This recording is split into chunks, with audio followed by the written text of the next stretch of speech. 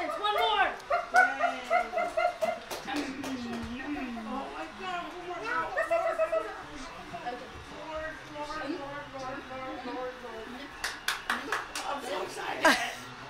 oh.